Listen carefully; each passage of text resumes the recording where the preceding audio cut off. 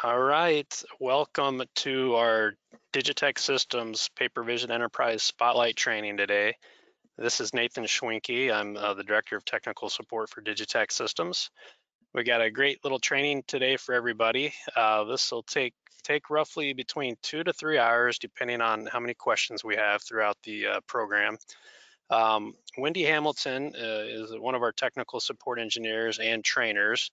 She'll be leading the training today uh, for you folks.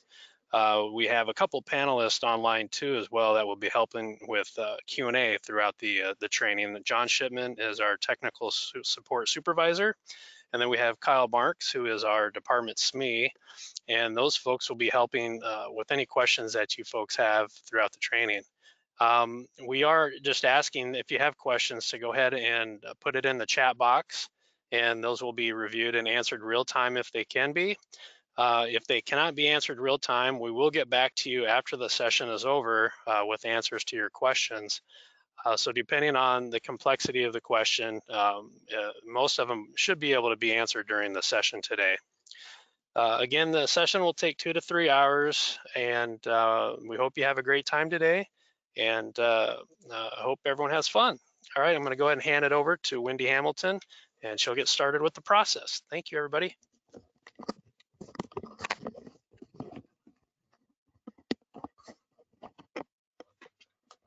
Hi, everyone. Um, like Nate said, my name is Wendy Hamilton, and I'll be going through the material today with everyone.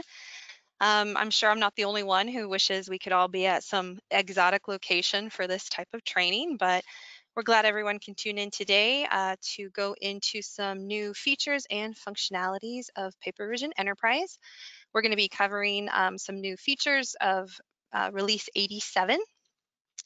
And like Nathan said, if anyone has any questions, I'm going to be going through um, specific sections. And if after a section you have a quick question you want to throw in the chat box, feel free. Um, John Shipman and Kyle Marks are both going to be keeping an eye out for that. So definitely don't hesitate if you have questions. If it's something pretty specific that you want us to go back to and kind of show again, we won't be able to uh, do that during the training, but um, definitely put in those questions. And then at the very end, um, we'll go through some additional questions and answer them as they come. So again, feel free to use that chat box. And we are going to go ahead and get started. Here is just an overview of what we're going to cover today, um, starting with some new user account types that have been added. And like I said, this is for release 87 and higher. Multi-factor authentication is also something we'll cover and actually show you how to get set up for users. We'll talk about to token authentication and what portions of the software it abides for. Next is solution profiles. We'll go over the creation and the re um, restoration of solution profiles and how uh, those might work really well for your environment depending on how you'd like to use them. We'll also discuss parent-child index fields as it pertains to projects. We'll point out some improved logging options that were added. And we'll go over the mobile application. To get started, we're just going to dive right into the new user account types. And here are the available uh, user account types for PaperVision Enterprise. Um, a lot of these are going to look very familiar. Most of you, of course, have been using these uh, for a while now and know exactly what they do. I'm just going to give a super brief description of each so we're all on the same page. Global administrators, of course, uh, these users control every aspect of configuration for PaperVision Enterprise, including configurations for all entities. Um, global administrators cannot log into the PaperVision Enterprise site and actually search for documents. Um, system administrators can administrate a single entity and have access to all functionality in all projects for that specific entity. Um, they can, of course, log in and view documents. The next one is one of the new ones, and you can tell by the asterisks on the end. This is a limited system administrator, and I'm gonna go into detail on that. We're actually gonna set one up, kind of demonstrate what they can and can't do. eForm and workflow administrators, those are both the same. They can configure and create eForms, configure and create workflow. definitions. The next new one is project administrators. And we'll go over that in detail as well. And then you have your basic system users as well. And these users can log into the website, search and handle documents depending on the security access that you give them per project. First one we're going to talk more in detail about is the limited system administrator. So these are created, of course, using the administration console. You can, we're going to actually create one of these, so I will demonstrate that, but in the screenshots below, you can see um, right clicking, you have the option to add a new user as you always have, but you also now have the option to add a new limited system administrator. By choosing that, you're adding a user that can perform administrative entity tasks, but they can't perform any project or document tasks.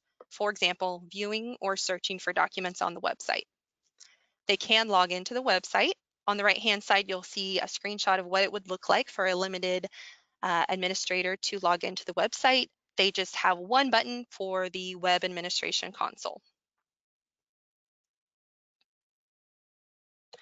Project administrators have full access only to specific projects and can administer all project level functionality. Um, these types of tasks include things like editing the project properties, editing those recycle bin settings, um, doing project level migrations. They can also set up things like directory manager jobs, document associations, document security levels, and handle uh, adding or removing security access for users and groups.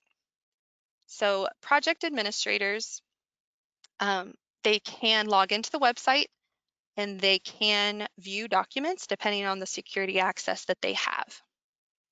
They cannot create uh, new system groups or users, but they can add security access for uh, system groups and users that are already in existence. And we'll go into that. We're going to create a project admin as well and kind of demonstrate the functionality there. So I am going to switch over to my test environment here. And the first thing we're going to do is log into an admin console.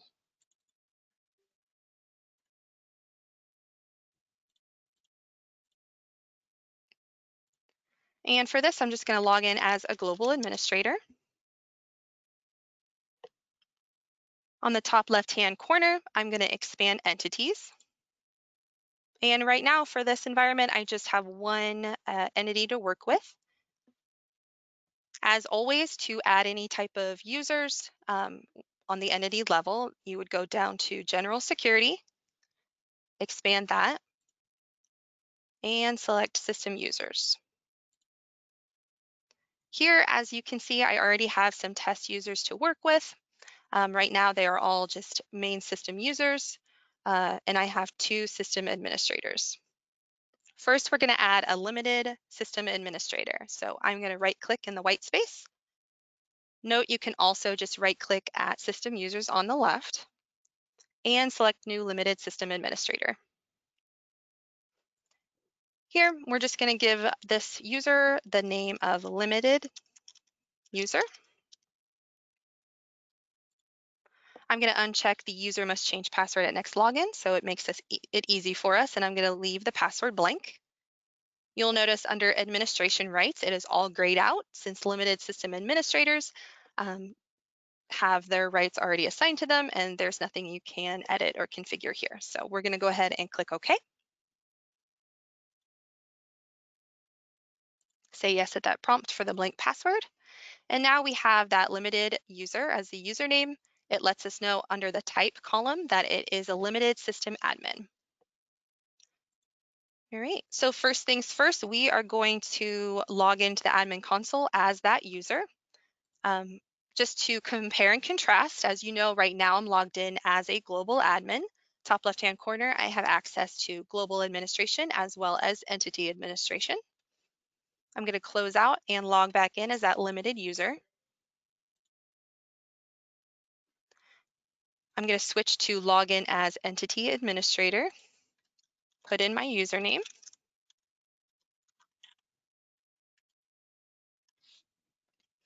And you'll see in the top left, no global administration uh, options are listed, but I do have that entity um, listed here. If I expand it, I have all the functionality here as you would usually see for any type of system administrator or global administrators. So under here, I have my general security. I can create uh, or edit any type of system groups users. I can edit that security policy, set up encryption keys, I can view any data groups. I can import or delete those data groups. And I have full reign over the projects as well. This includes security access, setting up directory manager jobs, uh, enhanced auditing, turning that on or off, and records retention and destruction. And at the very bottom, you'll notice that I have the normal reports section here, and I can view those reports as well. So in this instance, it is a lot at like logging in as a system administrator. I have all the same functionality when it comes to admin console. Now we are going to switch a little bit and log into the website with that new user.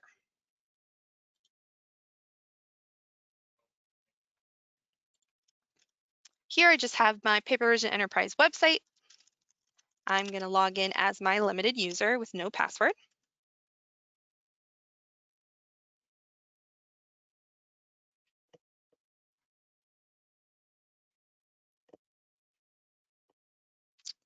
It's going to think for a second and load. And this will look a little different than you're normally seeing. Usually you would have your projects on the left, recent documents. Uh, if you had eForms or workflow, you would have those boxes as well. However, here we only have the administration box uh, listed here for us. And this is essentially the same as going to your user dropdown and selecting administration. So we're going to go ahead and pull this up. Here is the web administration console. And on the left-hand side, you'll notice I have those same type of functionality that you would see in the uh, thick administration console. I can edit users from here, go to project properties, view my data groups and data storage, and see reports. So again, just to kind of recap for the limited system admin, you have all the functionality when it comes to administration. However, you do not have any type of access to documents, so you cannot log in, view documents, you can't add annotations, you can't export documents from the viewer, um, but you do have that administrative task option. So that is a bit of the limited system administrator. So now we're going to move on and talk more about pro the project administrator option. So I'm going to close out of here. I'm going to go ahead and log out. And we are going to create a project administrator. Right now, as you can see, I've got a few test projects here and I can view them all logged in right now as a limited system admin. I'm going to go to system users under general security. And here I'm going to add a new user. This time, instead of choosing new limited system administrator, I'm just gonna click on new user. And this should be a very familiar window. I'm just gonna put in project user. I'm gonna uncheck user must change password and next login. And at the bottom, you'll notice you have the normal administrative administration rights options. However, the last one is new and that is project administrator. So I do wanna make this a project administrator. I'm gonna go ahead and check it. And then I'm gonna select select projects button. Here you will see a list of all of the projects for this entity. For me, I want to add uh, accounts payable workflow and HR employment applications for this specific project administrator. So essentially, you can see here how you can have multiple project administrators. Um, you can even have a, single project administrator per project, or they can administrate, they can have administrative rights to multiple projects. I'm gonna click OK with that. It lets me know that I have two projects selected, and I'm gonna click OK. In the system users list, you'll notice that our project user under type has the project admin type there. So An easy way to tell the difference between the two. Now I'm going to go ahead and log out of the admin console and log back in as that new project administrator.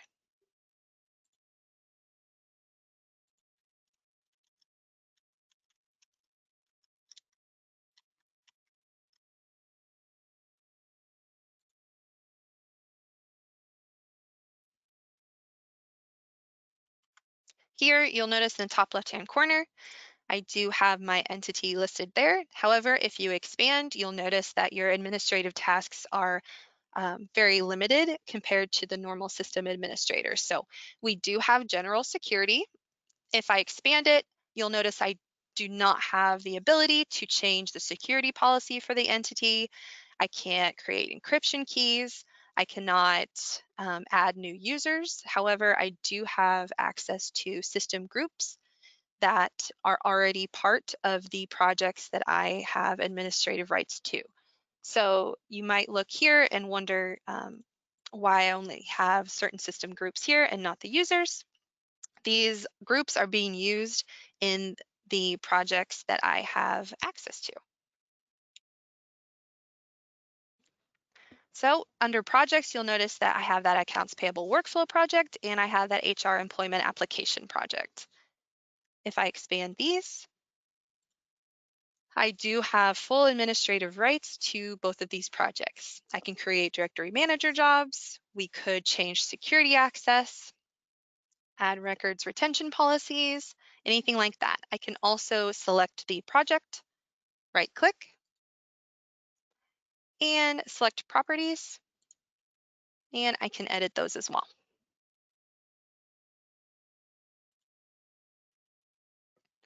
Now, when it comes to security access, if I select security access and I want to add some, you'll notice that uh, though I don't have access to the system users themselves, I can add security access for any system user already created for the entity. So we're going to click on new security access and it automatically populates all of the users and groups that are available. So here, even though I cannot make any changes to the user Bob, Chris, or Cindy, I could add them to the project, give them full rights, and it would be added there.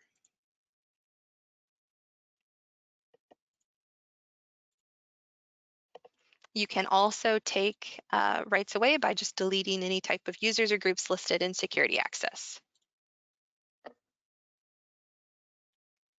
All right, we're gonna go ahead and log into the website using a project administrator so you can see the differences there as well. So I'm gonna close out of the admin console and open back up my browser.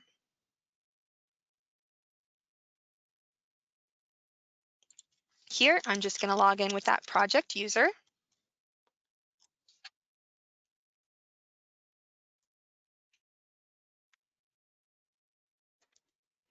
Here you'll notice in the top left-hand corner, you have your normal windows, right? You have your projects, your eForms, destruction lists. On the right, you've got any type of recent documents or favorite projects in eForms. And you might be asking yourself, well, um, we have access to two projects. Why are they not listed here? So by default, when you are project administrator, you have all the administrative rights to those projects. However, unless you have security access specified for your user, you cannot log in and view the documents or anything like that. You can give that access to that project administrator, however, and that's what we're gonna do here. So in the top right-hand corner, I'm gonna use that user dropdown and we are going to go to the web administration console by selecting administration.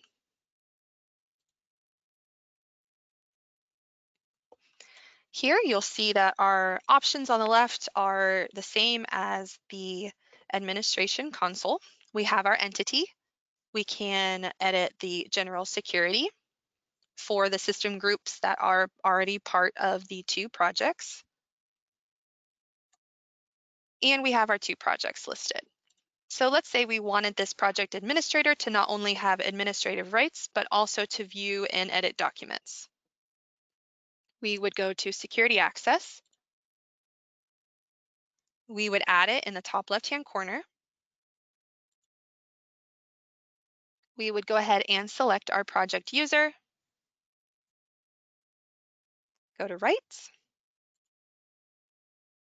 I'm going to go ahead and select all, but as you can see, you can give as many rights or as little rights to this project administrator. However, just remember that as a project administrator, this user can come into security access and edit anything in this window. So giving this user uh, only certain rights uh, doesn't really, of course, seem like it would do much since they could technically come in here and select all at any at any time. So we're just going to select all right off the bat, click save here.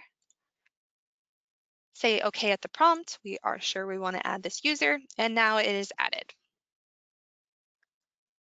So we're going to test that out. I'm going to go back to my browser. I'm going to log out and back in just to make sure my changes have uh, taken effect here.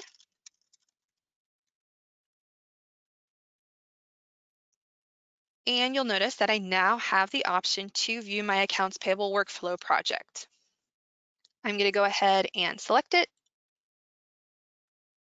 and just do a blank search to make sure that I have any type of search results for the documents in this project. Right. And I can see all the documents. I have one of 90 at the bottom right hand corner. And if I wanted to, I can open up a document, just like any other system user or system administrator would.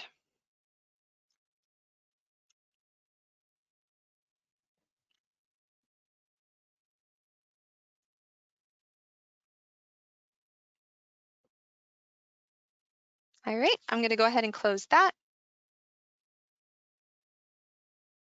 And log out as my project user. The next thing we're going to do is log back in as the admin console. This time I'm just going to log in as a global administrator.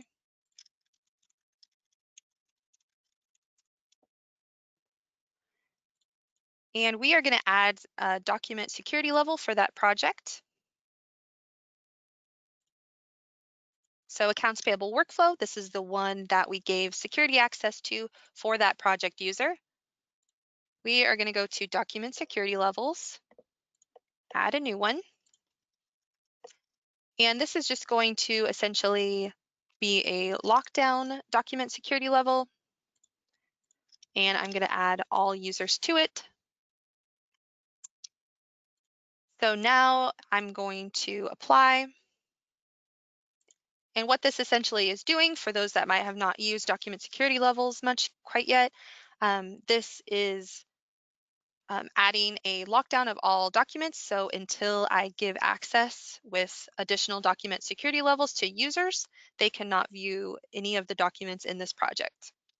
However, uh, system administrators, of course, if you uh, know that they can view documents regardless of document security levels, but let's see if the project administrator can as well. We're just gonna log in as the project user.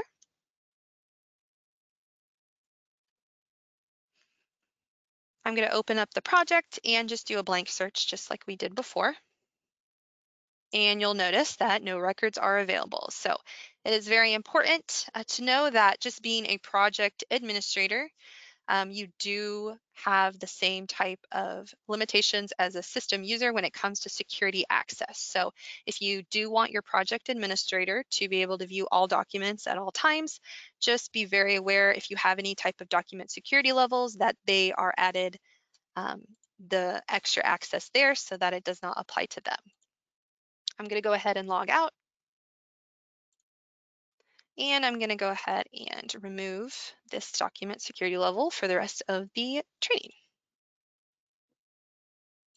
Now, if I would log in as my project user, I would be able to see all those documents.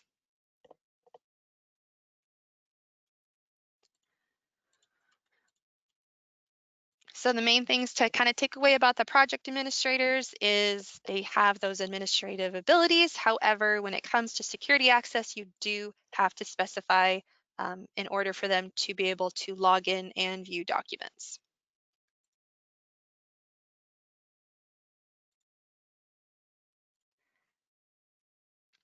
All right. And we're just gonna move on to our next subject, which will be multi-factor authentication. And again, if anyone has questions throughout, just remember um, if you weren't here at the very beginning of the training, we do have that chat box option. Uh, we have Kyle Marks and John Shipman who are keeping an eye out on that. Uh, so if you wanted to ask some questions, feel free to throw them in that chat box.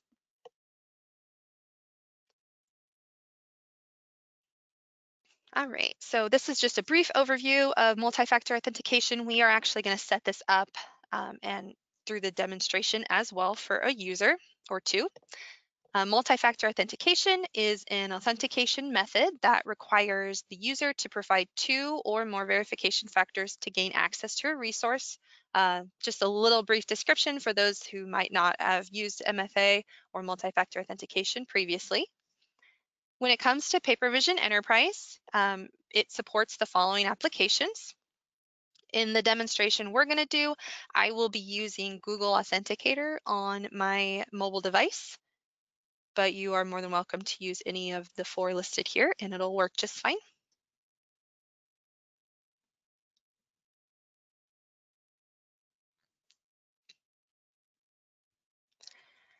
To uh, enable multi-factor authentication, you would go into the admin console, security policy,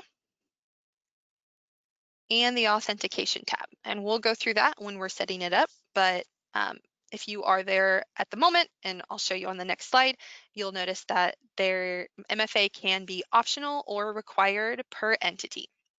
So if you wanted it to be an option for users, but you didn't want every user to have to abide by logging in with an MFA code each time, you would set it to just be optional. However, if you did want everyone to be forced to use MFA when logging in each time, you can set it to required. MFA can be enabled for all users, so not only your system users and your project or limited system admins, you can also do it for global administrator accounts. MFA is managed at the entity level uh, by a global or entity administrator, except of course if you're doing MFA for a global admin, um, it of course isn't managed at the entity level. That would just be managed by global admin accounts. Here is a little preview of how to set that up. The screenshot you're seeing now is that security policy for a specific entity.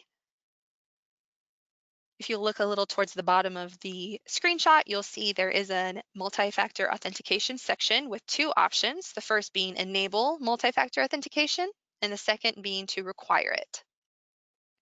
Just note by default, neither one of these are checked um, when you install PaperVision Enterprise uh, release 87 or higher.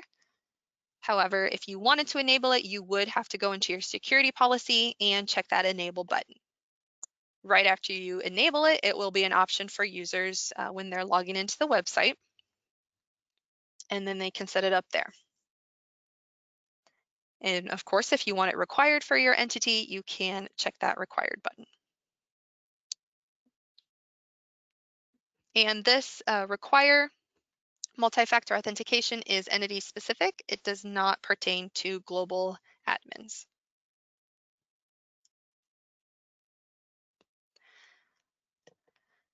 Users can set up MFA uh, via the user options dropdown or user dropdown, then selecting user options in the website you'll notice that uh, for release 87 and above, there is a multi-factor authentication tab that was added.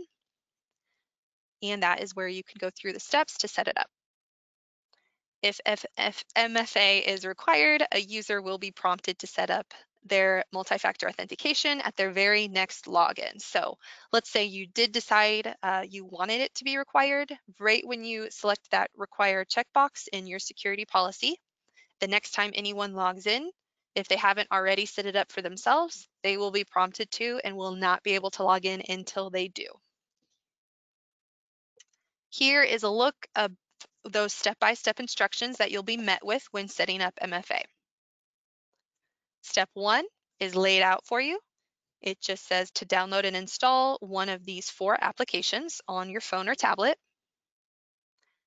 Step two will be to scan the barcode that shows up on your screen. So if your device has a camera, you can just hold the camera up, make sure that box is within the camera range, and it will automatically uh, submit that and process it. However, let's say you're using a device where your camera is not, one not functioning or you just don't have a camera on the device, you can use a manual entry and you can see that uh, key the very, very long list of numbers and letters, and you can input that instead. Once you do that, your application will then generate a six-digit verification code to use. Step three is just you entering your password and that verification code as it is on your mobile device. And for Google Authenticator, and I assume the other apps as well, these uh, MFA codes, the six digit verification codes, they do refresh. Um, I know for Google Authenticator, it's every 60 seconds. So as long as you put in the verification code and click verify code and activate before that code uh, expires, it will then show a success message and you'll be able to turn it off at any time if you want, as long as it's not required in the entity. And we're gonna go through this uh, step by step and set it up for a user as well.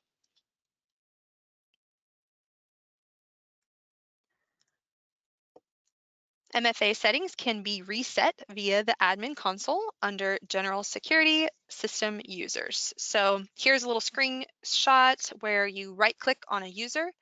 You do have a reset multi-factor authentication button. So for example, let's say an individual set their account up, they have their MFA application on their device and they lose their phone or it's damaged and they can no longer have access to that application that they set it up on. Um, they of course cannot log into their account to turn it off, but any type of administrator account that has access to users and groups can right click their user and select reset multi-factor authentication. This will give them the option to, if it's required for the entity, it will at least give them the option to set it back up on a different device or set it up later uh, whenever they want if it's just enabled and not required. This is the same for global administrator accounts as well. All right, we're gonna go ahead and set up multi-factor authentication for a new user. So we're gonna go to the admin console. We're already logged in as a global administrator. Again, you can do this as a system administrator as well, or as a limited system administrator. We are going to expand general security under our entity and go to security policy. I'm going to double click on configure security policy to bring up the window. And you'll notice now there is an authentication tab. And at the very, towards the bottom, there is multi-factor authentication section. Like I said, um, by default, this is not enabled. So this is something that you would have to go in and, and check before it can be used by your users. So we're gonna go ahead and enable it. I'm not gonna require it at this time. And I'm gonna go ahead and click OK. Next, we are going to go to system users. I'm going to create a new user for this, and it's just going to be called MFA user.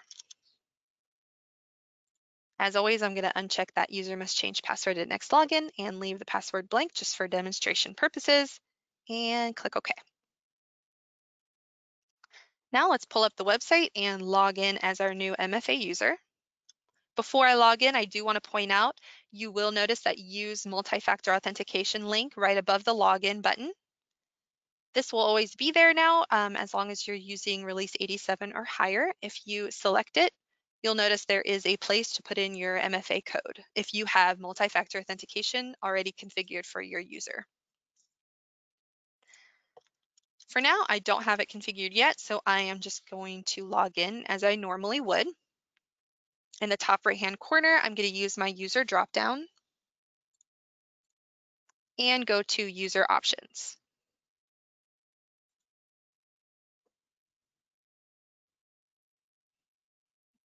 On the left-hand side, you'll notice that I have my normal tabs of general and signatures, but I also have a multi-factor authentication option.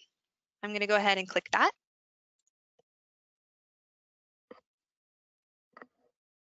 And here, just like that screenshot that we already went over, it gives me step-by-step -step instructions. So if your end users are kind of not really sure how to set it up, this is really helpful. Uh, they could just go through the step-by-step -step instructions and do it on their own. First, of course, it's telling me to download and install the Google Authenticator app, which I already have on my mobile device. And then it's asking me to scan the barcode. So I'm not able to show you this on my mobile device, unfortunately, but I am scanning the code right now. As long as that box is within the view of my camera, it automatically creates that account under my Google Authenticator app. Now that it processed, it is flashing a six digit verification code at me and it is showing me that I have 60 seconds before it refreshes. I'm gonna go ahead and put it in. For me, that is 712737. You don't need to hit enter or anything like that. Once you input it in, if it is correct, it will configure itself and let you know that it has configured successfully. You'll also notice that you now have a toggle that is on or off depending on what you would like. So anytime I can log in, turn this off and not have to put in an MFA code to log in. We're going to test this out by logging out. and logging back in. I'm going to go ahead and try to just log in without my MFA code so you can see what that message will be. The system could not log you on. The provided MFA code is invalid. So that is the message that you'll see if MFA has been configured for a user and they're not putting in a code or maybe not the correct code. Note that this goes whether or not um, you have MFA required. So right now we don't have it required. However, once a user sets up MFA for themselves, it is required for them until they turn it off or until an administrator turns it off for them by resetting it in the admin console. So I'm gonna go ahead and put in an MFA code that I have on my device at the moment. As you can see, it's refreshed and I have a new code. And it logged me in successfully. At any time, just to reiterate, I can go to my user options, go to the MFA tab on the left, and turn it off. For now, I'm going to go ahead and leave it on and close out of the website. And we are going to try to log into the PaperVision Thick client and show you how it looks there as well.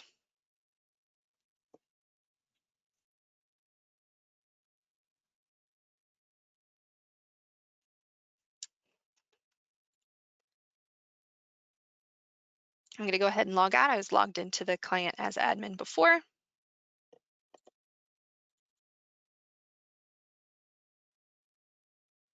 And here I'm just going to change my username to MFA user. And you'll see I have this use multi-factor authentication option. I'm just going to hit login without putting in any type of code. And you should get the same error message at the top as you do on the website. So I'll put in the code that I have at the moment.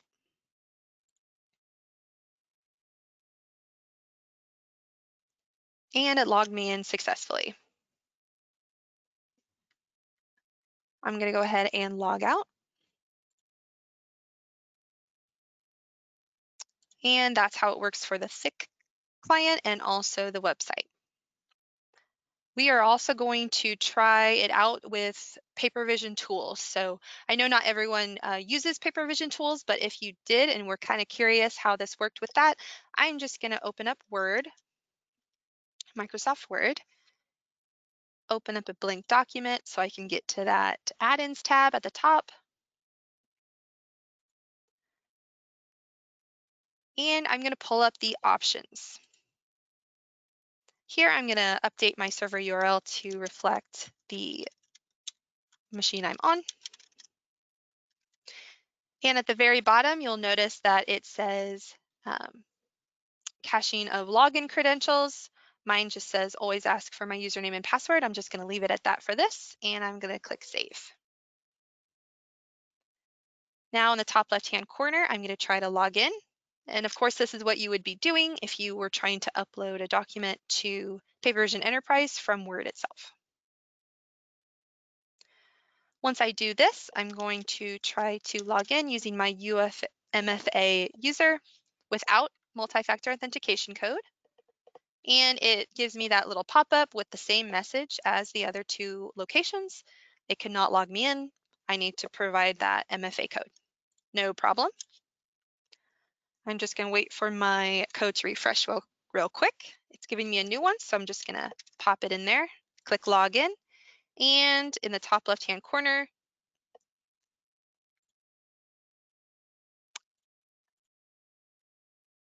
sorry, might not hit the right button, one moment.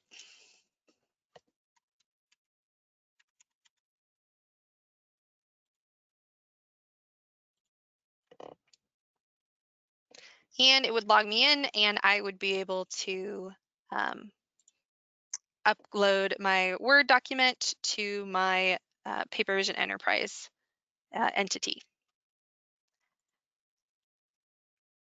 And it doesn't seem like it likes that, so I'm going to try this again uh, with a different user.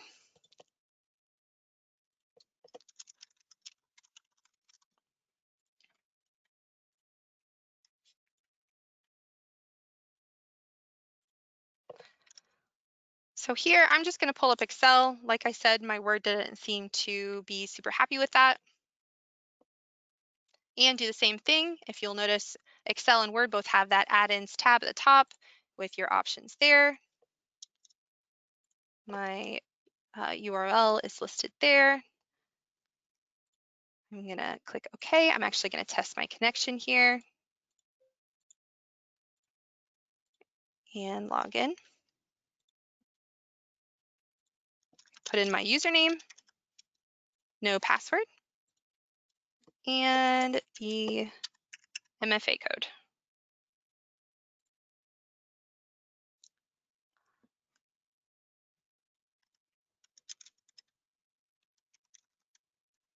All right. And again, um, sorry guys, it looks like my uh, office on my machine is not very excited to work with my PaperVision Enterprise instance, but hopefully everyone can see how you would go about doing MFA with PaperVision tools as well. Next, we are going to set up MFA for a global administrative account. So same type of situation, top left-hand corner, you'll be selecting global administrators. And here, if you have multiple global administrators, you can uh, enable MFA for each and every one of them. I'm going to right click and you'll see the option to set up multi-factor authentication. It's a bit different when it comes to global administrators. Just remember they cannot log into the website, so they can't set it up in that method. Um, so there is that option to set up from the admin console. We're going to go ahead and click setup. Just make sure um, if, if you already have MFA set up for your global administrator, you would get this type of message. Are you sure you wish to replace your current multi-factor authentication configuration with a new one? We're just going to select yes. And it gives you the same type of step one, step two, step three, and you go through the exact same uh, same steps here. So just so you know, when using uh, any authenticator app, such as Google Authenticator, you can have multiple users use the same device. So I'm just going to use my same mobile device. I'm going to add a new uh, user here, scan the code or scan the barcode. And it gives giving me an verification code that's completely separate from my MFA user. So I'm going to put that in here.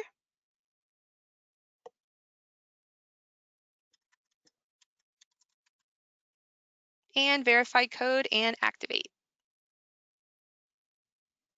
Now I'm going to log off of the admin console and we're going to see what happens when I try to log back in.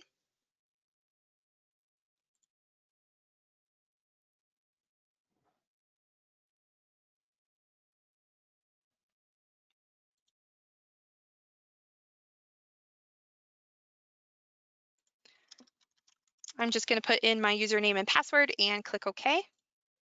And it gives me that little prompt. This account has MFA configured. You need to provide the MFA code. So you'll notice that there is a checkbox for MFA code. When it's not checked, you don't have the box listed at all. However, if you do have it checked, you have the option to put in your code here.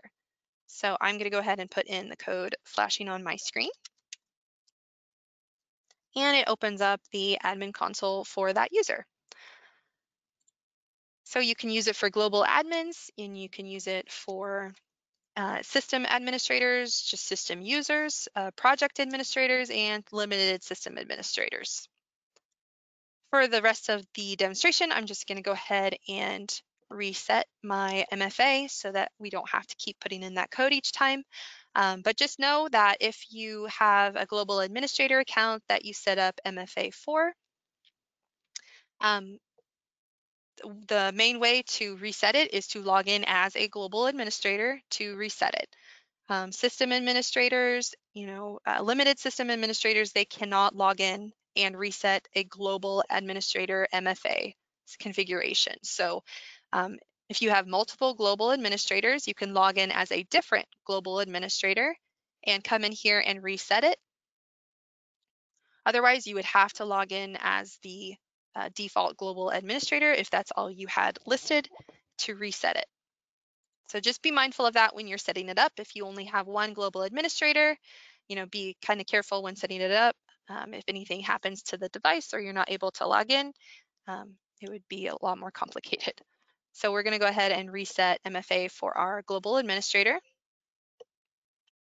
and test it out. Make sure we can still log in without that MFA code. I'm going to uncheck MFA code and log in here.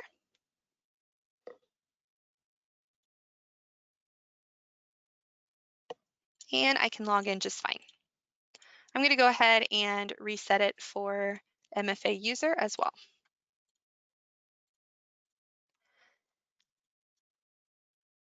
We're going to go back to our security policy and we're going to make it required so you guys can see how your users would deal with that uh, the next time they log in. So I'm going to select require and I'm going to log in as just a test user I have.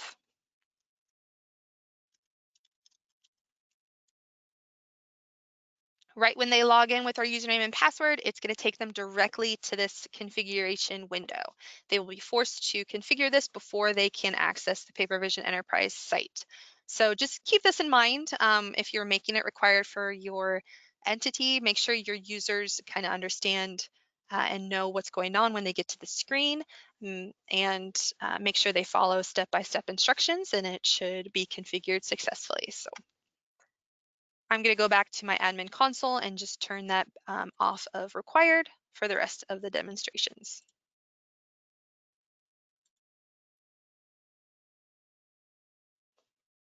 All right, so that um, is what we're going to cover for MFA. Like always, make sure and throw any type of questions into that chat box if you have them.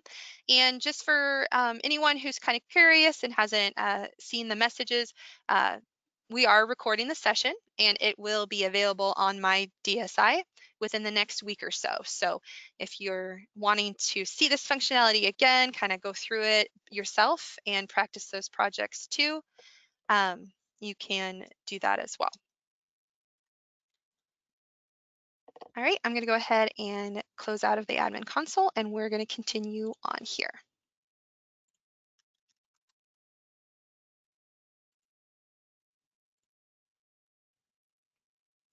The next thing we're going to cover is token authentication.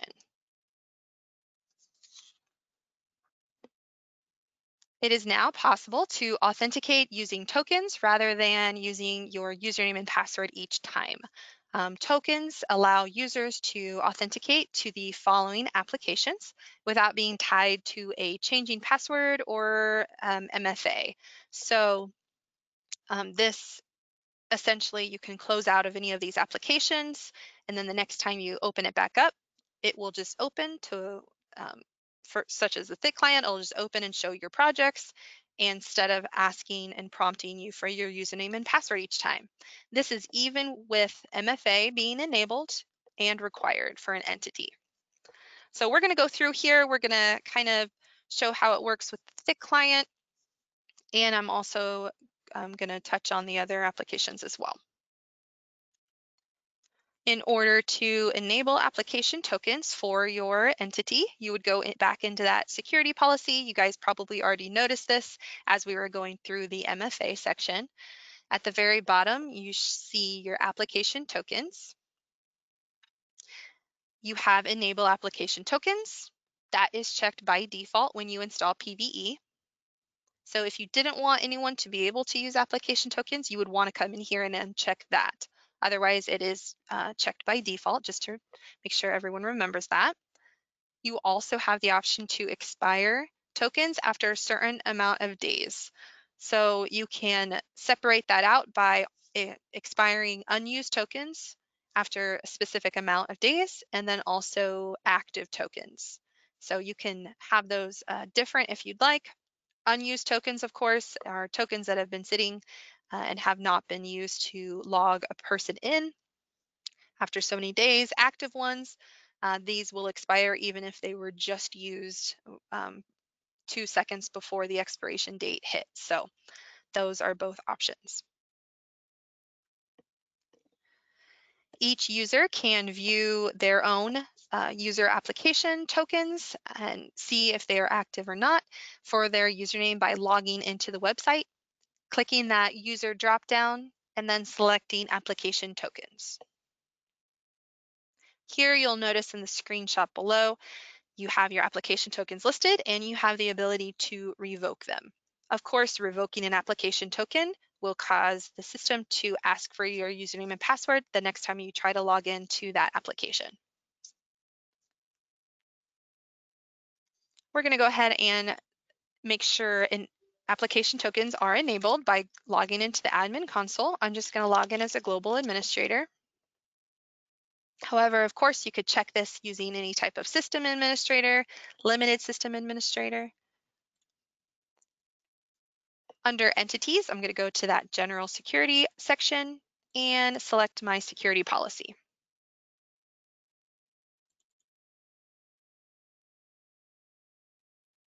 Here in the authentication tab at the very bottom, you'll see that application token section.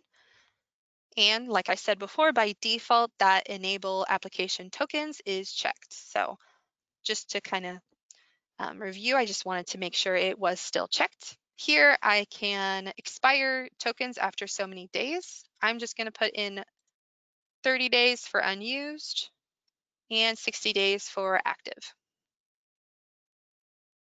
We're of course not going to be uh, staying in this presentation for 30 days to see that take effect, um, but I'm sure uh, you guys can uh, imagine what would happen after the 30 days. The user would just log in and have to put in their username and password.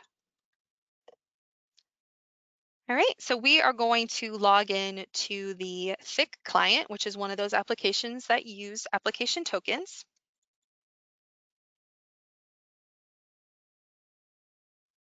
I'm just gonna make this bigger so everyone can see.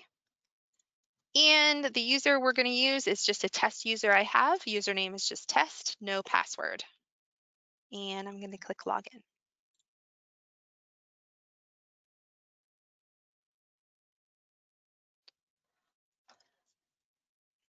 My test user has access to all the projects listed in the top left-hand corner. Here you can open up projects, search for documents, do whatever you'd like to do. In the top right hand corner, notice that you do have that log out button. If you log out of an application, the token automatically revokes for that session. So we're not going to hit the log out, we're just going to hit the close button in the top right hand corner of the application. And now just to confirm an application token was created, we're going to log into the website as that test user.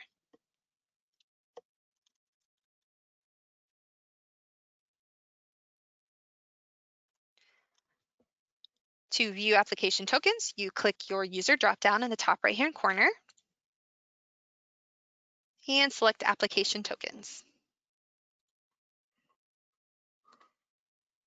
Here is an example of the application token that you would see when using the thick client. It tells you what the application is, PaperVision client, tells you the operating system and computer name. My computer name I'm on right now is called Train. It also shows a created and last used date. I'm going to minimize this browser because we're going to come back to it. And we're going to test this out, make sure it works. We're going to open up the thick client one more time and see if it prompts us for our username and password.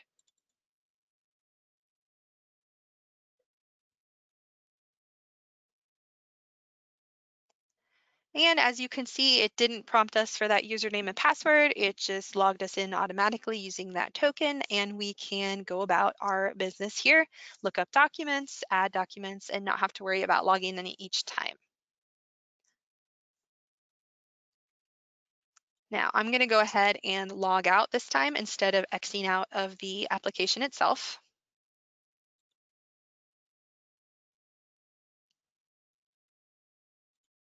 We're going to go back to the browser. I'm going to go to home, just give it a second to update and make sure it's refreshed. And then I'm going to go to application tokens.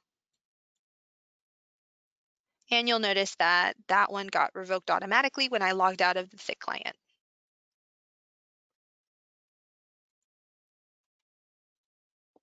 I'm going to log in just one more time to create that application token. And close out of the application instead of logging out.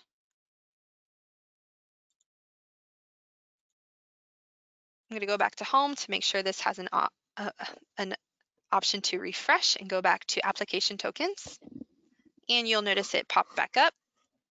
This time I'm going to revoke from the website. So I'm going to click the revoke button gives you that confirmation. Do you want to delete this application token? We're going to say yes. And let's try to go into the client one more time.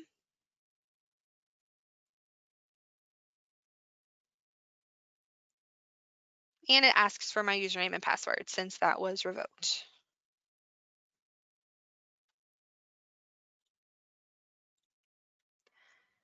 Through the admin console, um, you can also revoke application tokens in the general security system users section. So in the top left-hand corner, I'm gonna go to my entity. Under entities, we would be going to general security, system users. I'm just gonna right click on any system user and you'll notice that you now have the option to revoke application tokens per user.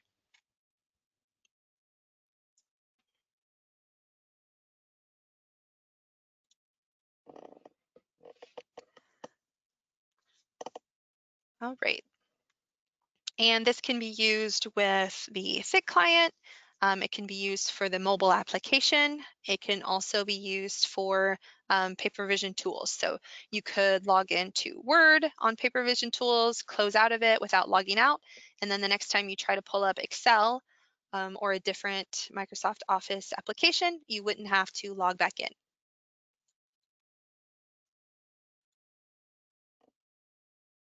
And application tokens are uh, Windows user specific as well. So if you log into your Windows machine as your username, you open up PaperVision, log in as your PaperVision user, that application token is stored.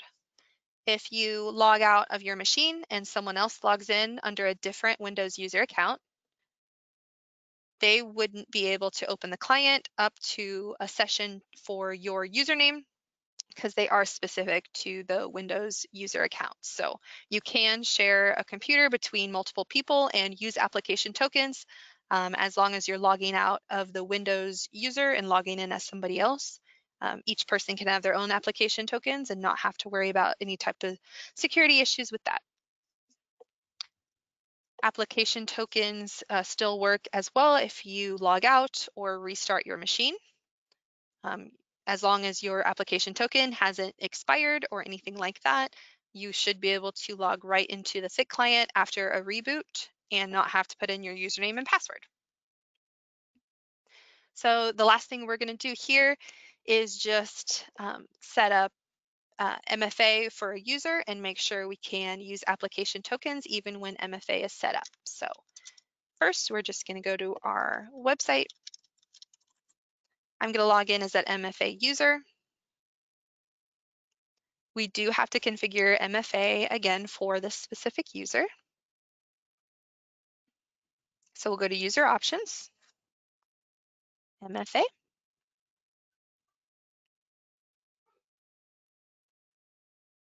And I'm going to enter that verification code.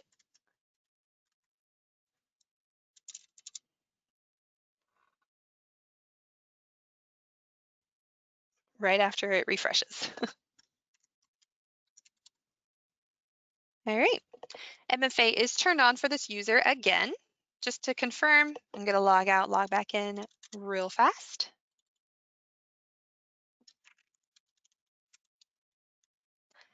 Making me use my code. All right, so we're gonna log in to the thick client as that MFA user.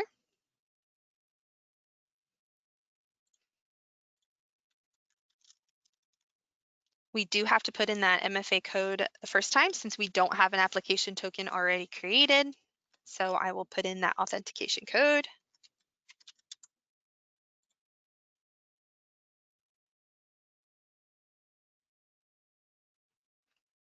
And now, like I did before, I'm just gonna close out of the application. I'm not gonna click the log out button, but just the X in the top right-hand corner. MFA is enabled and it is on for this user. And we're just gonna try to get back into the thick client here.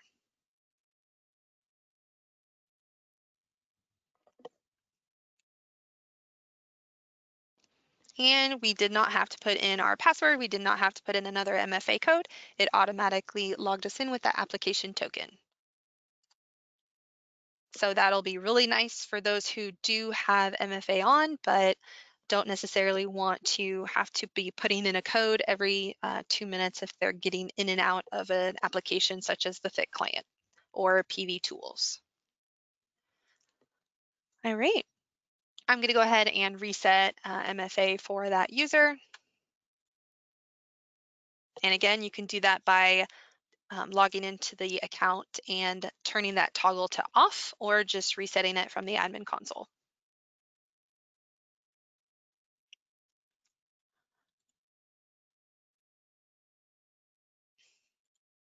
All right, the next thing we're going to get into are index field relationships for projects. PaperVision Enterprise now supports parent-child index field relationships. Um, this allows an administrator to specify relationships between index fields.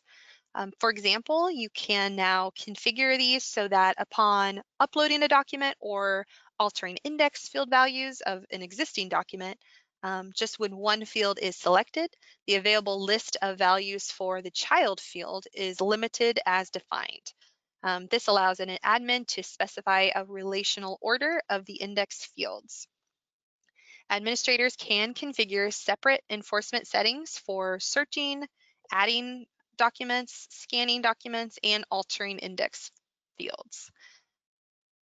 They can manually add values uh, to each of these field types or um, add bulk uh, value, a, a, big list of values by importing a, a list that way. So we're going to go over how to do this. We're actually going to set up a practice project and add our index fields ourselves. So here I am still logged in as a global administrator.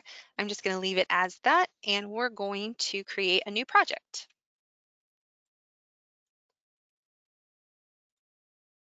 I'm going to go down in my entity and click on projects. I'm going to right click and select new, and we're just gonna call this parent slash child. For this, we are gonna keep it super simple. We are only gonna add three index fields, but just know, of course, you can get as complex and have as many index fields as you want, and you can configure them that way. So for this, we are just going to need an index field called state, another one for city, and the last one is just going to be zip. And for this, I'm just going to change the field type to number and click OK. So here, as you can imagine, we are going to want to set up index field relationships to where we select a state, and then depending on the state, it populates a certain list of cities. And then, of course, depending on the city, it populates a certain amount of zip codes. In order to save these settings first, we have to click OK at the bottom, so we're going to go ahead and do that. And parent child is now a part of our projects list. So I'm going to go ahead and expand projects and find our parent child project. In order to define index field relationships, you will go to your project and right click it and select define index field relationships.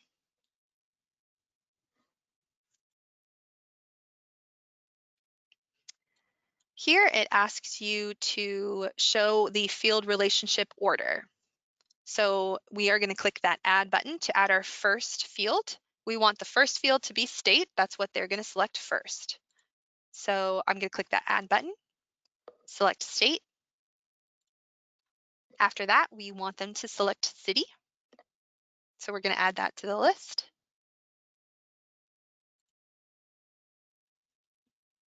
Then comes zip. Underneath that section, you have an enforcement section. So you can decide whether or not these field relationships are available to users through searching, adding slash scanning documents into the project, or when someone is altering index field values. I'm going to click the drop down just to show you the different options. You can either turn it off for any one of these by keeping it at not used. You can offer the list selection, but still allow the individual to manually type in um, values as well.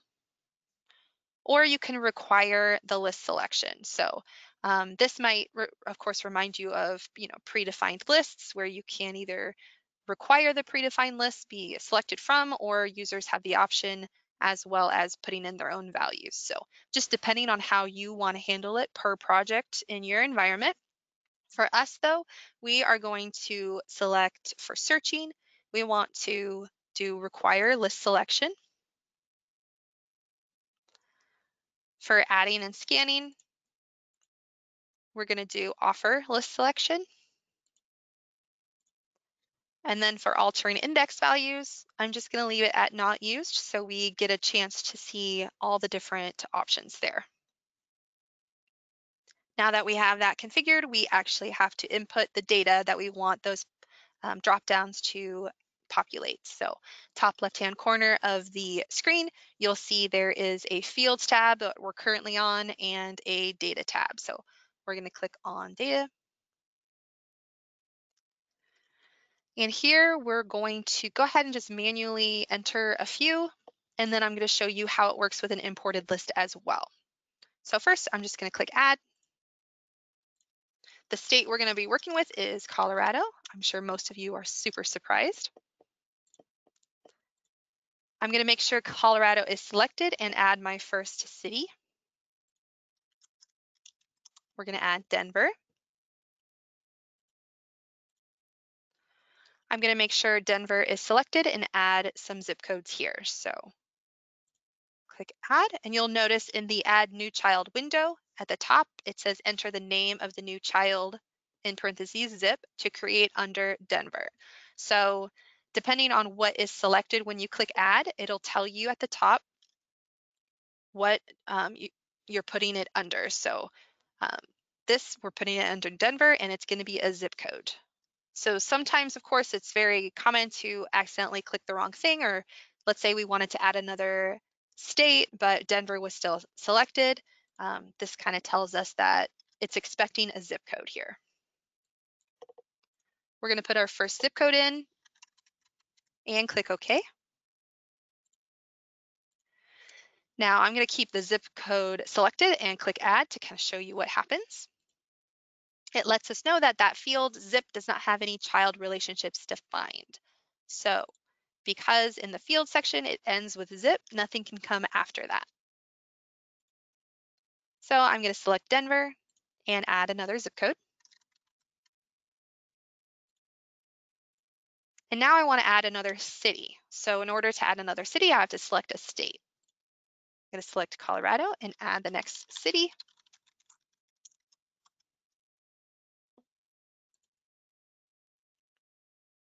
Then I'm going to add a zip code under there as well. And finally, I'm just going to add one more city for us to have a few options.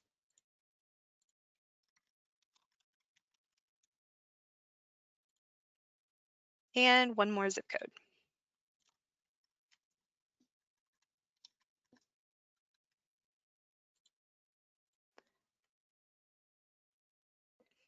All right, I'm going to go ahead and click OK to just save those settings. And then we're going to add a few more to the list by using the import option. First, we're going to see how it looks, and then we can compare and contrast after we import some more values. So we are going to go ahead and log into the website I am not going to really add any security access, so we're going to want to log into the website as an administrator. So I'm going to log out of the MFA user, log back in as an admin.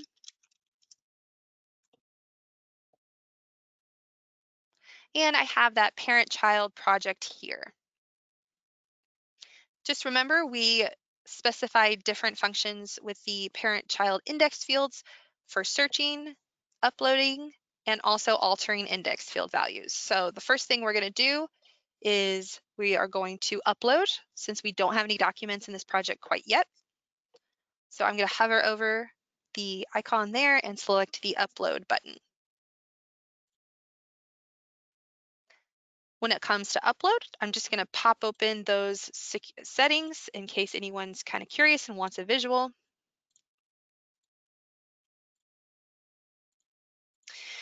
Um, here for the adding and scanning, we have offer list selection selected. So it should offer us the dropdowns, but we should be able to manually input as well. So here I'm going to select a state. If I click the dropdown, I should see a state listed. I'm going to select Colorado. Using the city dropdown, I have the three cities that I have configured. I'm going to go ahead and select Denver. And I should see the two zip codes underneath the Denver that I inputted when we configured it. So just to test the functionality, I'm going to add in a new one that is not in the list and see if it lets us still upload the document. I'm going to use the select file button just to grab a sample document here and click save. All right, it was uploaded successfully since we uh, could, it did allow us to pick from the list or add a new value. Now we're going to search for documents. As you remember, if I pull up the admin console, searching, the enforcement is set to require list selection. So I shouldn't be able to search by the zip code that I manually entered. It should only allow me the drop downs. We're going to hover over parent child and click the searching icon. Here you'll notice it looks a little bit different. Uh, the city and state are grayed out and I am unable to put my cursor into the state to type anything out. I can only select from the list. I'll choose Colorado. Same with city, I can't type anything in. We'll go to Denver And then under zip code, you'll see the two zip codes that we configured previously, but we cannot add any extra zip codes in here. So this is a great option if you want to ensure all of your index fields are from a specific predefined list to kind of cut down on manual entry errors. Um, this is a, a, great way to do that. You can force users to select from that list instead of manually entering something in there. We're going to go ahead and search even though we don't have any documents that have all of those index fields and we see that no records are available. So with the settings the way they are, we can't search for the document we just uploaded. Now I'm going to change some of these. I'm going to go ahead and log out as admin while I change some settings around. I am going to change searching to not used. And then altering index fields, I'm going to leave as not used so you can see that as well. And click OK. I'm going to log back in as that admin account and we're going to try to search on the parent-child option. So now you'll notice there are no drop-downs. However, the last thing we had entered is pulling up here. I'm just going to clear criteria and click search. And there is the document we previously uploaded. Now, if I wanted to alter the index values, I'm just going to make sure it's selected and click that edit button in my top toolbar. Here, you'll notice that I have to manually enter everything here since it's not being used for altering the index field values. However, if we did set it to offer list or require list, you would have those drop down options here as well.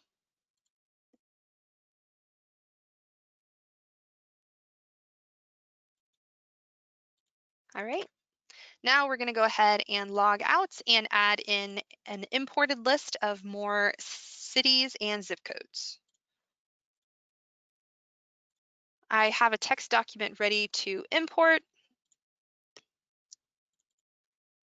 Obviously, uh, no, no, normally you'd probably have a lot of values. We're just having a couple just to demonstrate. I have two new cities and two new zip codes listed for each, or one zip code listed for each city.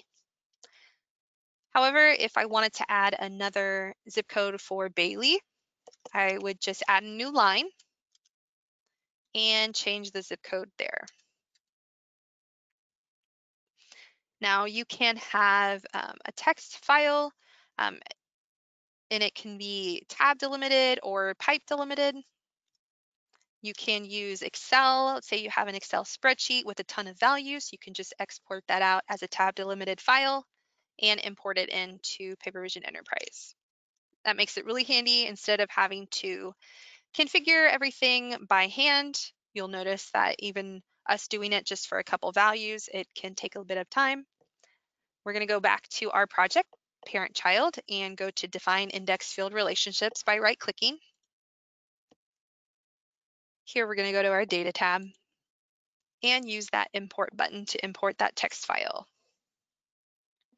All you have to do is find where the file is located and select it.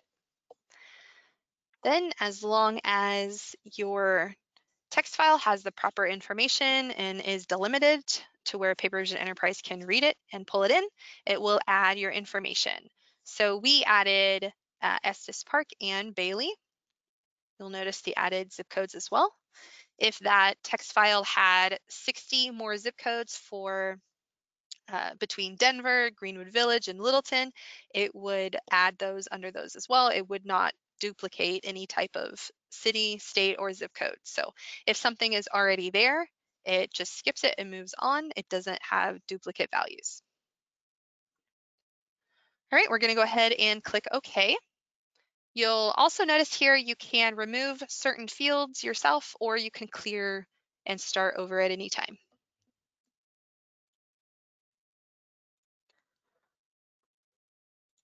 I'm actually going to go back into the index fields and turn everything on to offer list selection.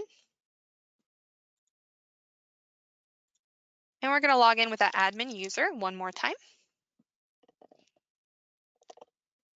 And go to upload a new document. Here I'm going to choose Colorado and make sure my two new cities are populated in the city list. So as you can see now, I have five options. Bailey and Estes Park were added. If I select one of those, those zip codes are listed as well. I'm going to go ahead and upload a document.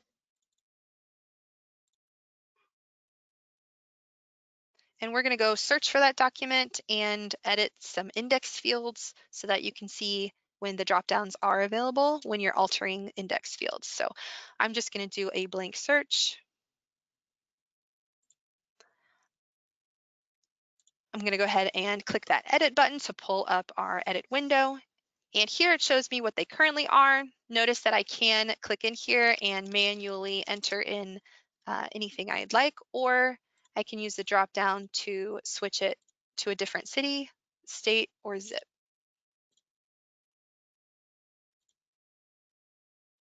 And that's been updated.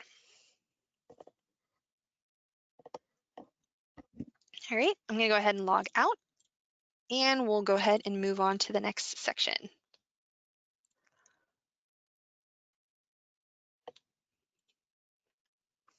The next thing we are going to demonstrate and go over are solution profiles.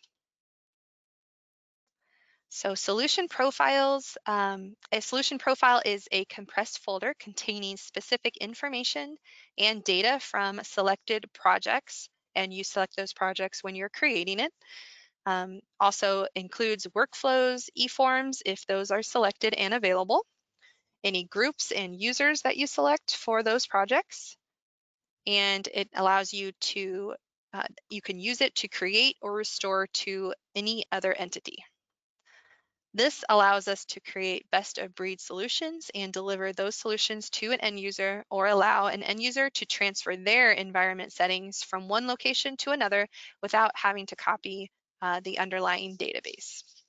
So solution profiles can be used for creating, you know, ready to deploy templates, um, it is important to know that this is um, just uh, transferring over the um, project configurations. It does not house any type of data groups or data group files. Solution profiles can be generated from the admin console. As you can see in the screenshot below, you would just right click the entity that contains the project or projects you would like to create a solution profile for and select generate solution profile. And we're gonna go ahead and practice generating one and restoring one here in a bit. Once you select that generate solution profile, you will get a screen like below in the screenshot where you can specify a solution profile name. You can password protect the solution profile if you would like. If you leave it blank, it would just not ask for a password when it's being restored. And then you'll notice that you can pick and choose between all of your entity information um, specific to the projects. So here you'll notice in the projects list, you can select one or more projects to include in your solution profile. You can select uh, one or more user groups. Any workflow definitions that are available in any of those projects, you can select that as well, as well as eForm definitions. In the top right-hand corner, you can put a, a, brief or detailed description of what is within the solution profile if you would like as well. In the general section under the solution profile password, you'll notice you can choose to or to not include document security levels, document associations, and any active records retention policy sets for those selected projects. Once you have any type of user group selected, you'll notice that the include users in the selected groups is also an option.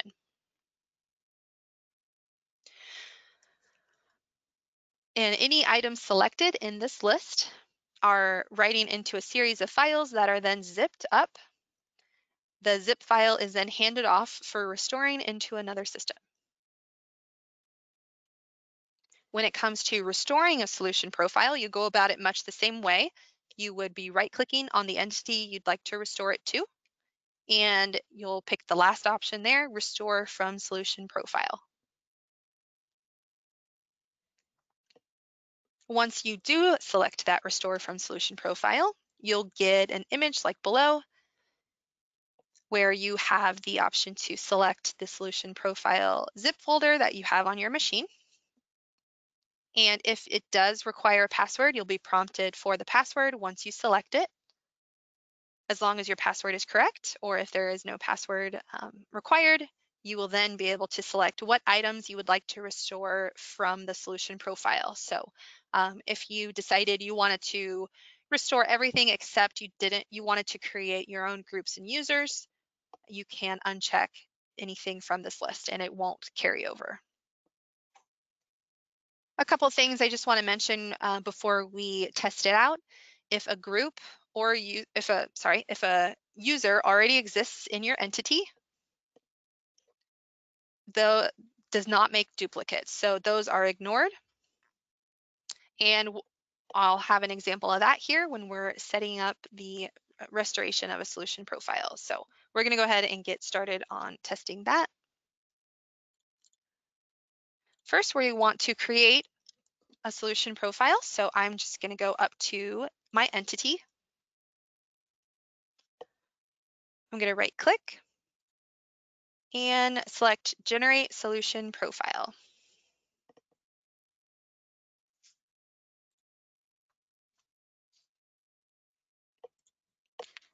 Here, the solution profile name, I'm going to name this one HR project.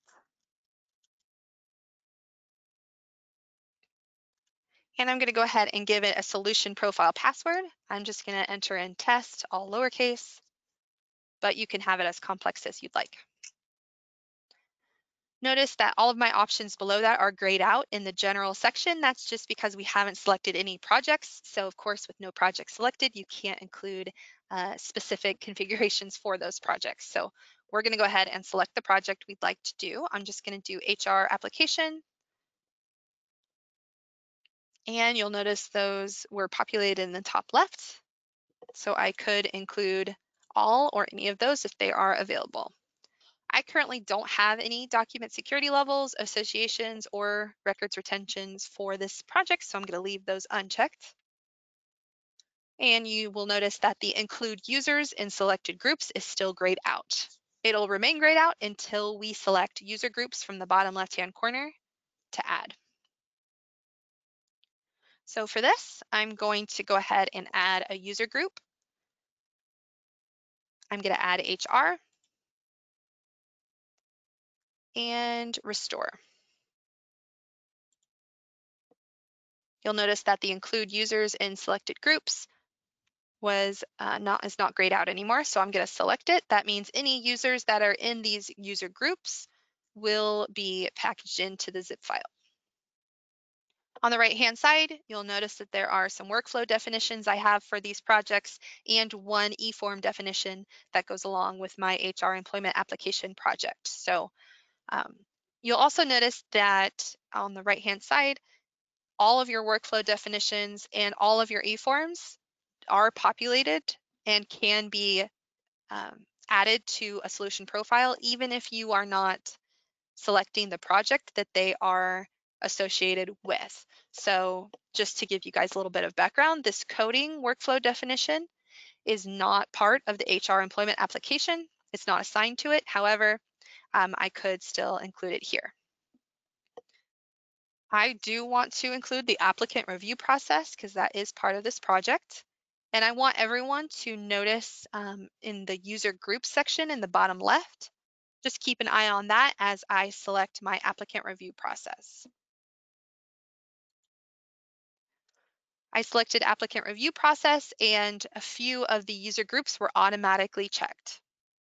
This is because in my workflow definition, I do have those user groups assigned to certain work steps in the workflow.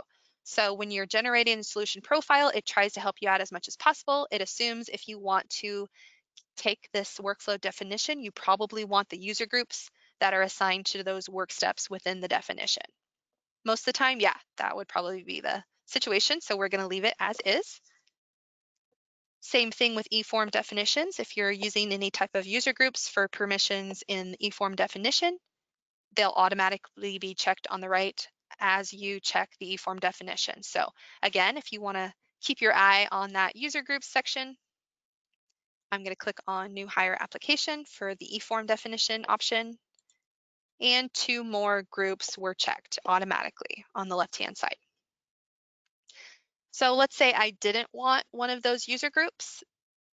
I'm going to uncheck applicants, which automatically got checked when I cho chose my eForm definition. You get this helpful little prompt. It says deselecting this group, which is applicants, will also deselect the dependent eForm new hire applications. Do you want to continue or not? If I say yes, you'll notice my eForm definition was unchecked as well. If I try it again and hit no, it'll leave it checked. I'm going to uncheck the workflow or department managers, which is a group that I do use in the um, eForm. If I say yes, you'll notice the e-form was uh, unchecked, same as applicants. So we're going to try doing one of these other groups that are only part of the workflow definition, such as sales managers. Deselecting group sales managers will also deselect the dependent workflow application review process. So if you click yes, it unchecks your workflow definition. So just be mindful, it wants to bring the user groups that are associated with the workflow definition and eForm definitions because of course they are specified within the definition and you need them in order to process it. So we're gonna go ahead and leave it as is. Those user groups are coming over. The include users in selected groups in the top left is checked. That means any users that are a part of those groups will automatically get applied as well. However, when we restore this into another entity, if some of those user names are already assigned in the admin console, it will not override that information.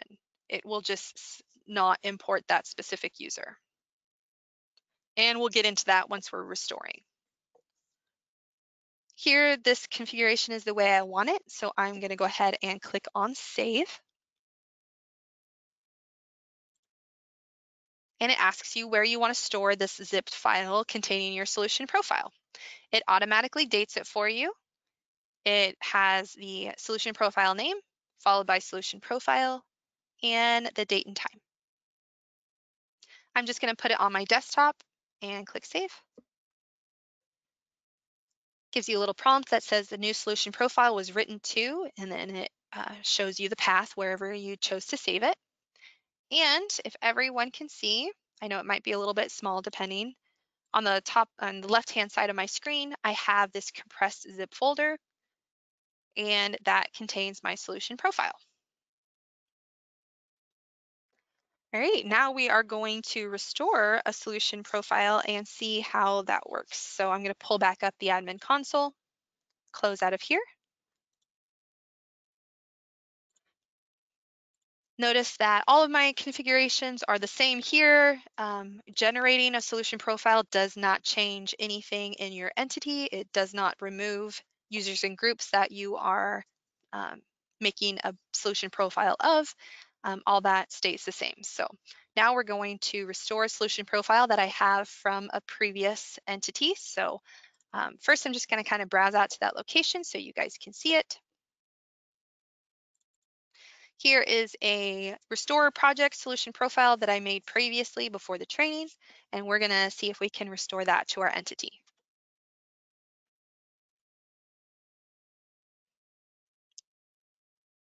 Top left-hand corner, we're gonna right-click the entity we want to restore it to, and select Restore from Solution Profile. Here I have to put in where the file location is, so I'm going to use that ellipsis to the right. And you'll see it went right to it, um, probably because that location is cached, but makes it easy for me. I'm just going to select it and click Open.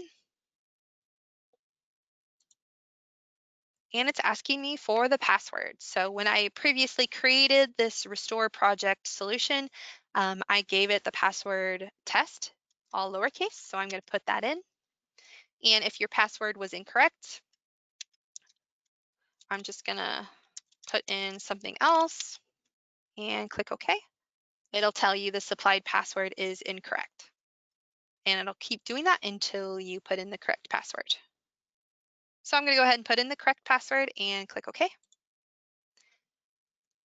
It gives me the solution profile name as well as a list of items that I can or uh, if I didn't want to restore, I can uncheck them. Here it'll it says I am restoring one workflow definition, one project, security access rights for that project, two groups, and three users. So you'll notice that it says restore missing users, but it just says restore groups. So this is kind of where it differs when it comes to solution profiles when restoring.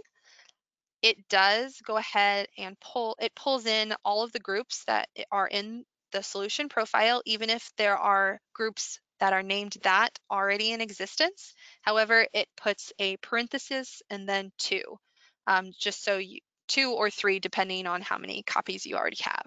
So it does differentiate between the two. However, it does go ahead and pull them in in case you um, did want to work with those groups. However, when it comes to users, you can imagine um, how it wouldn't want to overwrite any data with users and instead of having duplicates with users, um, it only restores the ones not currently in the admin console for this entity. So we're going to click start and see what happens. It lets us know that it was completed successfully. The following items were created, one workflow definition, one project, one project security access right, two groups, and only two users. If you'll notice right below this window, it does say um, restore missing users, and then it gives us three. So there were three users that were backed up with this solution profile. However, one already exists in our system, so only two of them are being pulled in. And I'm going to go ahead and click OK. And we're going to see what was added. So if I go to projects, You'll notice under the last project I created, there is a new one that says Project Restore. If I expand that and go to security access, the security access for that project was also carried over. I have a group called Restore with two people in it. I also have a workflow definition. And then in system groups, you'll notice I already had a group called Restore. So the one that was just pulled in is now called restore to. At this point, I can change the name of this one uh, to be more specific to this specific project, or I could delete the old one if I don't need it. Um, just to kind of show you this restore, you'll notice the group members are Bob and Chris. This is something that I set up previously within this entity. This restore that came through with that solution profile has Kevin and Pete as group members instead. So they are different. However, they share the same group name. So that is why it does go ahead and add it, but puts those parentheses around it. This, however, is important to remember for if you are using a workflow definition, such as the one here. If I open up my restore workflow, I have a manual um, work step. And you'll see that uh, it automatically updates the work step participant to reflect that parenthesis two. This is pretty cool. I It's something that I feel is very helpful um, so that you don't have to be super mindful of going back in here and making sure you update this uh, just to you know compensate for that group already existing because you definitely don't want, uh, let's say it didn't do this and it just said restore. That of course would mean that the users in the current group restore would have access to this work step even though um, they didn't when it was created into a solution profile. So if you do rename anything in groups after a solution profile, for example, if we went to system groups and we deleted this and created a new one, you would definitely want to go to workflow definitions and change it there, of course. But um, as it pulls in, it does update this information and you'll see that though there is a restore option, it keeps the restore in parentheses two in your definition, so nothing really has to be configured there after you import it.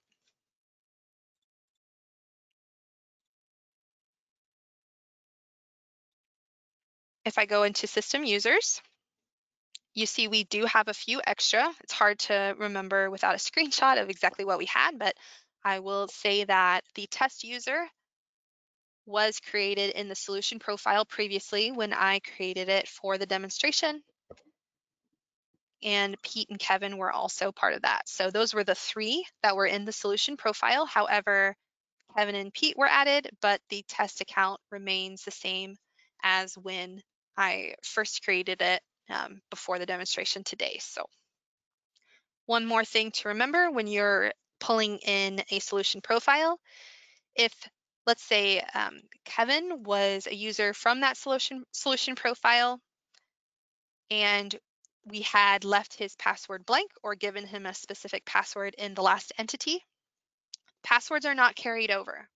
So when you do import users using solution profiles, you will have to come into the admin console and set the password to whatever you'd like.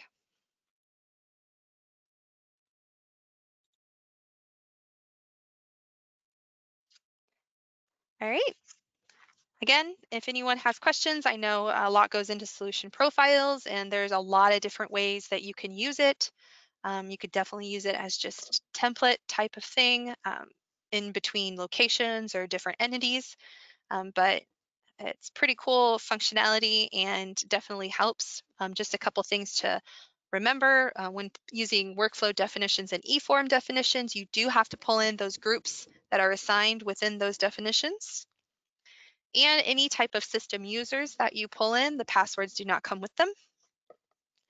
And there will not be any duplicate system users. However, system groups do pull in regardless of what is currently in the admin console, but you can differentiate because it does add that parentheses two or three, uh, depending on what you already have. All right, we're gonna keep moving on. And the next thing we're gonna talk about is some improved logging options that we now have. It is now possible to automatically clean up import and maintenance log entries. This functionality has been added to the Data tab within System Settings, and that's under Global Administration, in the uh, ad Administration console. At the bottom of this section, there is now a System Log Archiving slash Cleanup section. Here, you are able to set retention times for both the import log entries as well as the maintenance log entries. This is measured in hours. And once these log entries reach the set time, you can choose to either archive those logs by selecting the Archive System Logs option on the left, or you can choose to delete them by selecting the Cleanup System Logs option on the right.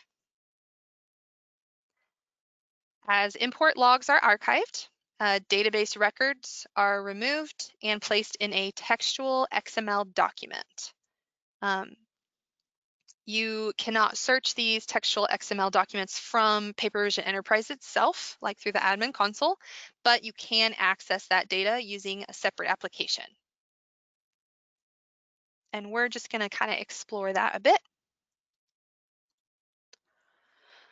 I'm gonna go to Global Administration in the top left-hand corner and select System Settings. Here on the right-hand side, I'm going to click on Configure System Settings. Move to the Data tab. And at the very bottom of this screen, you'll see that there is that system log archiving and cleanup. Right now, it's set to default, which is 36 hours for both, and archive system logs. To change this, you would just select in here, change the hour amount, keep it on archive system logs or clean up system logs. I'm just gonna leave everything the same. Uh, like I said before, we're not gonna be here for another hour to kind of see this in the works, um, but this is where you would set that up. And I'm just gonna go up to the top left-hand corner and go to import logs. Just to kind of see how it would work, I'm gonna manually uh, submit some of these to be archived.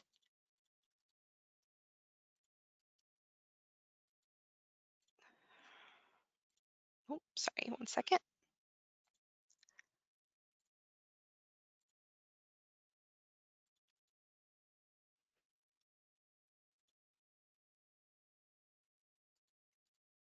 Sorry, I had a little moment of lapse. Uh, to archive logs, you do have to right click the import log section instead of the specific logs themselves over on the left hand side. And if you right click on import logs, you can archive old import logs. So for that, I am going to go ahead and archive And this will check that value that you have in system settings. For me, I just left it at 36 hours. And all of these are from 426, so it's definitely been 36 hours. So it's gonna um, take all of the import logs older than that. And I'm gonna click say yes. The import log entries have been archived. So as you can see, I no longer have them in import logs. If I right click on import logs and go to the import log, uh, log archives, I do have that uh, XML data here. So you'll notice that, that you don't have the option to restore. So just keep that in mind if you are wanting to archive logs. Um, there is not a way to restore them back into your import logs list. However, you can view them at any time. This is also information available in the in an archiving uh, table within the database as well. I'm just going to select this one and click view.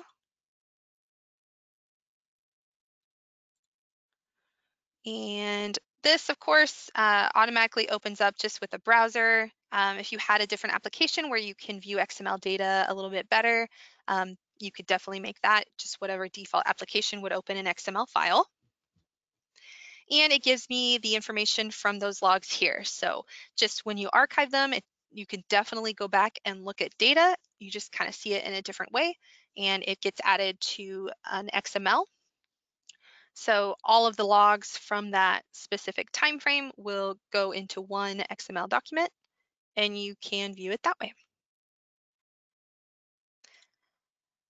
Again, if in system settings, you had changed this to cleanup system logs, then it would just delete them.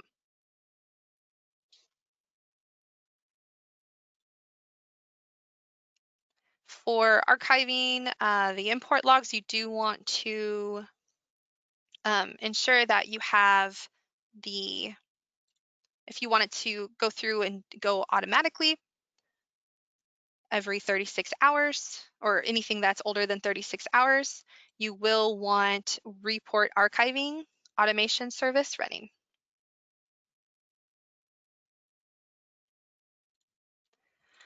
All right.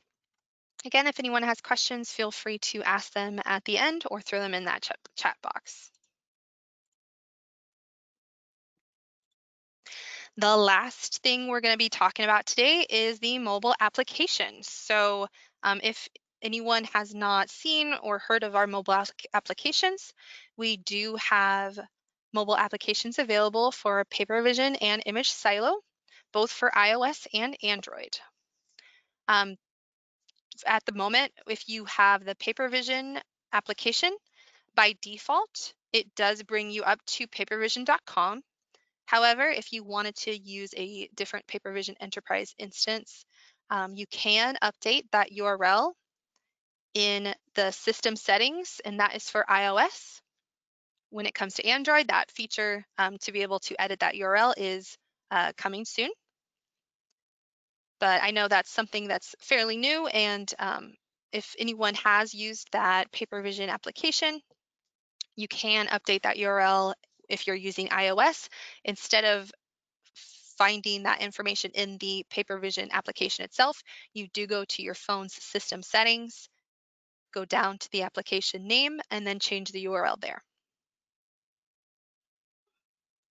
Since I can't um, bring up that my mobile device on the screen, um, we are just going to kind of look at some screenshots to show you how the application looks.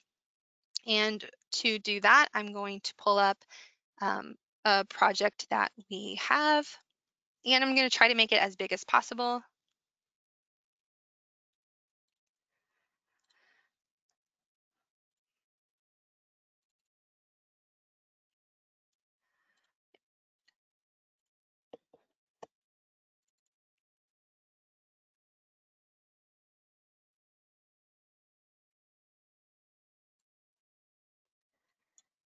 Hope everyone can see this all right. I'm Gonna get this a little bit bigger and we're gonna go through this together. And feel free if you guys have uh, your mobile phones with you, um, you should be able to search in your app store. If you want to test out the PaperVision or the ImageSilo, you would just type that in and you should see that listed in the app, app store. Once you have it downloaded and installed, you would open it. And this is what you would be met with. Of course, this might look a little different depending on your device and how large your screen is and the orientation. On the left-hand side, it's papervision.com example. On the right-hand side, it's ImageSilo. So as you can see, they are um, pretty identical, but it does tell you in the top left which you are logging into. You have the option to enter your entity ID your username, password, and then you'll see that you have that use multi-factor authentication link above the login button in case MFA is required for your account. If it is, you would have to do this um, through the mobile application as well. You can also use the forgot your password link here.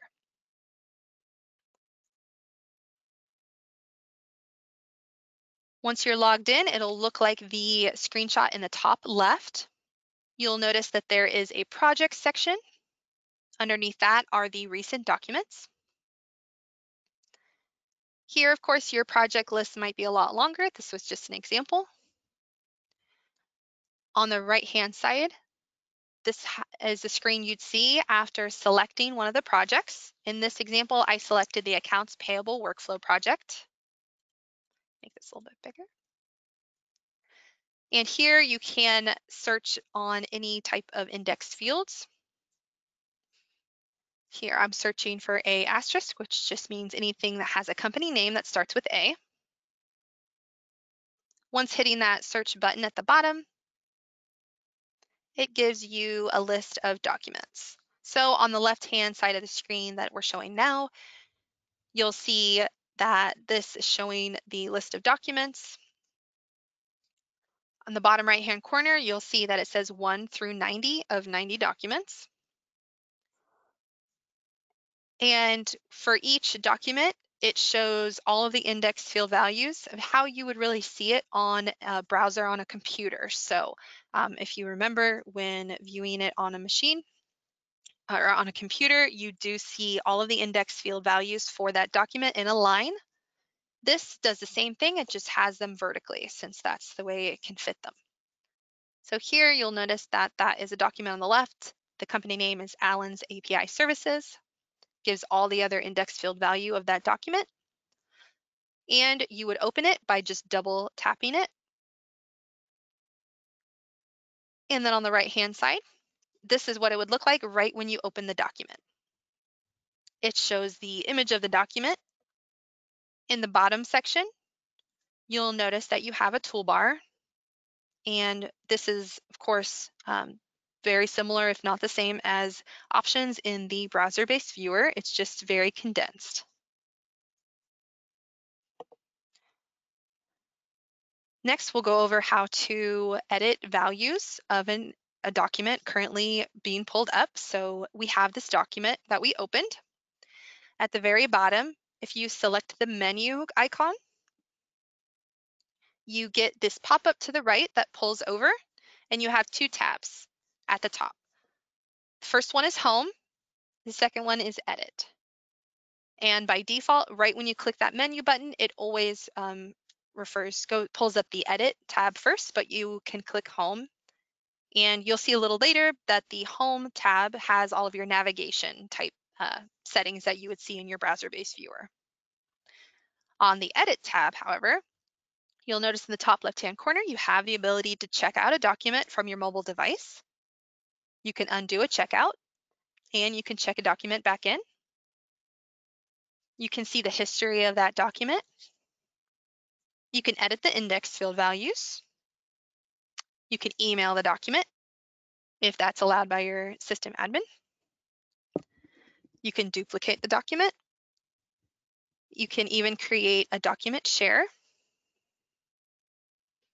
You can see the document's info as well as full text information if the document has any. Underneath that, you can view uh, annotations and textual notes. You cannot create um, annotations, of course, just like you can't on the browser-based viewer on a computer. You can use this document to create a new workflow instance or see the status of the uh, work, workflow instance status if it already is one. You can show or hide signatures and you can also sign the document. On the right hand side, this just kind of shows you what happens if you were to click the edit button. And this is just editing those index field values for this document. So you can go in here, update anything if you would need to, and then click the update button. And it would work the same way you would in a browser. You can also add textual notes. Here is an example of that. It shows you all of the previous textual notes as well, and then anything you put in the top section is what's going to be added. And then you would just click that add button.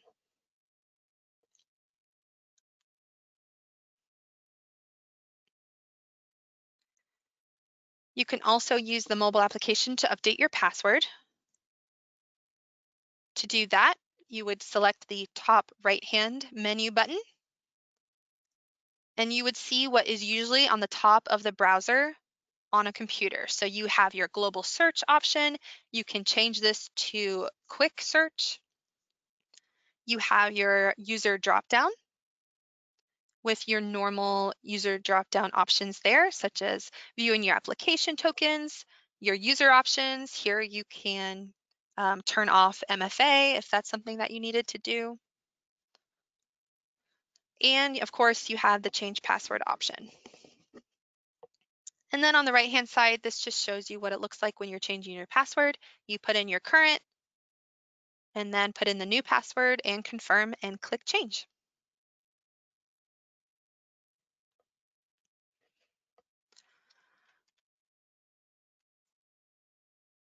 And this is um, screenshots I'm showing now are um, specific to iOS, but the same functions are available in Android as well.